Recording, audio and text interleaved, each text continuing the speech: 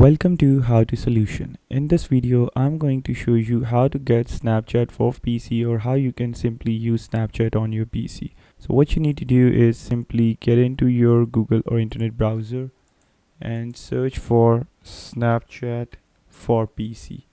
And once you tap on it, several options or results would come up to the top and you will download, run, download and run Snapchat from the bluestacks.com and download this once you download this the downloaded folder would appear on your place where you have download like this in a raw file. And once you open that raw file you guys can get that snapchat folder. And in that snapchat folder you guys can get that bluestack installer. So once you open up and install your bluestacks this is how it is going to appear. And in this bluestack installer so it would eventually act as if it's Android OS and you're using some kind of a mobile phone. So for that, what you need to do is simply log in or just give it the credentials of your Gmail account so you can access Gmail. So once you tap on your Play Store, after logging in, creating an account for Gmail, you can simply go and write Snapchat and once in the Snapchat, you can download it.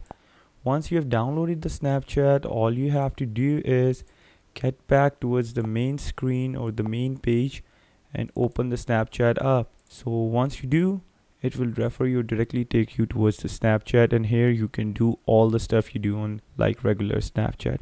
So if you guys still have any questions or queries regarding it just comment down below. I would love to answer that. Don't forget to like comment share and subscribe the youtube channel of how to solution and see you in the next video. Take care. Peace